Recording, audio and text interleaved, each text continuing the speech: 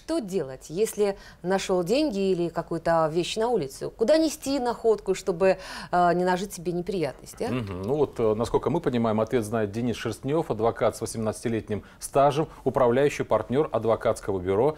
Доброе утро, Денис. Доброе утро. Э, Денис, ну мы знаем, что у вас огромный опыт, э, более 500 э, э, дел. Скажите, были ли среди этих дел случаи, когда вот люди присваивали себе э, не свое имущество, вещи? Да, бывали такие дела. Угу. Ну тогда давайте тогда э, как-то абстрактно подойдем к этому моменту. Предположим, иду я по улице, нахожу деньги, кругом никого нету, я их беру, и что мне за это будет? В соответствии с законом человек должен обратиться, заявить о э, находке в органы внутренних дел, либо органы местного самоуправления, управления. Ну, по месту жительства, да, в, Ну, собственно, он может, Мгм. да, в ближайший, скажем так, обратиться, так будет проще и Мгм. понятнее.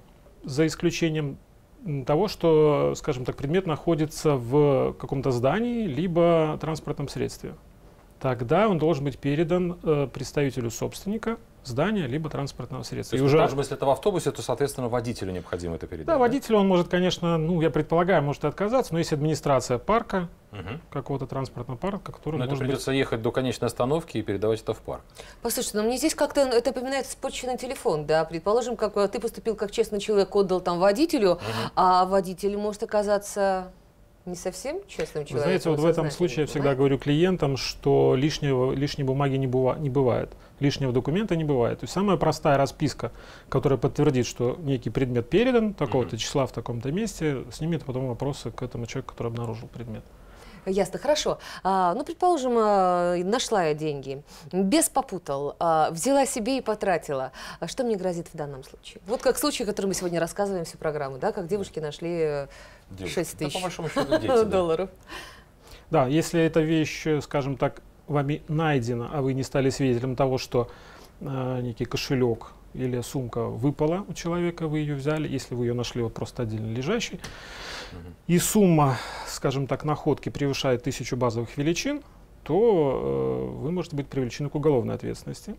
Хорошо, тогда вот порядок все-таки наших действий. Если мы э, в общественном транспорте, значит, мы идем к водителю, передаем находку водителю и берем желательно с него расписку. Если мы в торговом центре, передаем либо охраннику, либо администратору этого Ну, торгового зала. администрации все-таки, да, центра. потому что Если, это соответственно, правильнее. на улице, то тогда мы Ну, в милицию, э, да, в ближайшее в отделение ближайшее милиции, отделение да. милиции. Сообщаем. Все верно. А, а это правда ли, что по закону э, 25% от суммы найденного э, нашедший получает? Ну, вероятно, немножко путаете Ну, складом. складом, да, Хотя то- там, там тоже другой процент немножко предусмотрен, в два раза больше.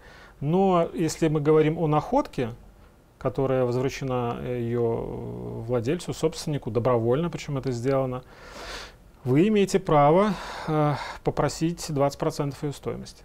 До 20% стоимости, так А у говорит кого я закон. имею право попросить? Вот как раз такой ее собственник. А, Только она- у собственника. э, На Да, самом ну, деле не я в хочу органе сказать, милиции что, Явно, да. э, как правило, э, когда человек возвращает какую-то дорогую вещь, которую нашел, в моей жизни были случаи, я возвратила очень дорогой телефон, то а, хозяин был настолько счастлив, что он, э, в- не знаю, Отблагодарил и подарил отблагодарил. тебе этот телефон. Нет, не подарил, но тем не менее, понимаешь, всегда как бы там вот, То есть надо предполагать, люди, да. что, в принципе, тот, кто найдет, э, имеет право на 20% вознаграждение. Ну, тут даже не надо просить, тебе в любом случае как бы что-то подарят.